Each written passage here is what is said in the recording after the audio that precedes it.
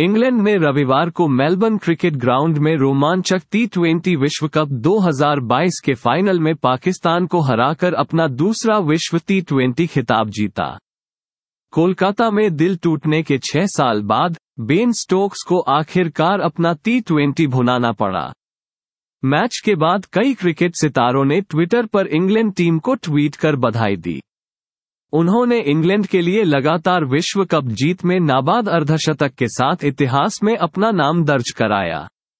Stokes ने उनचास गेंदों में नाबाद बावन रनों की पारी खेलकर इंग्लैंड को पाँच विकेट से जीत दिलाए 138 रनों के कम लक्ष्य का पीछा करते हुए, बोर्ड पर सिर्फ़ चौरासी रन पर चार विकेट गंवाकर इंग्लैंड वास्तव में परेशान था।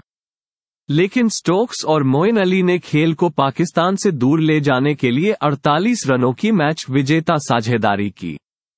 इससे पहले इंग्लैंड ने पूरे अनुशासन के साथ गेंदबाजी करते हुए पाकिस्तान को 137 रनों पर रोक दिया और अपने निर्धारित 20 ओवरों में आठ पाकिस्तानी विकेट लिए।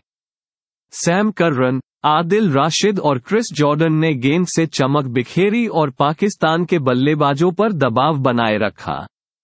कुर्रन ने अपने कोटे के चार ओवर में सिर्फ़ 12 रन देकर सर्वाधिक तीन विकेट चटकाए। इसी तरह राशिद ने 22 रन देकर एक और जॉर्डन ने 27 रन देकर दो विकेट लिए। पाकिस्तान के लिए शान मसूद ने बल्ले से सबसे ज़्यादा 38 रन बनाए थे।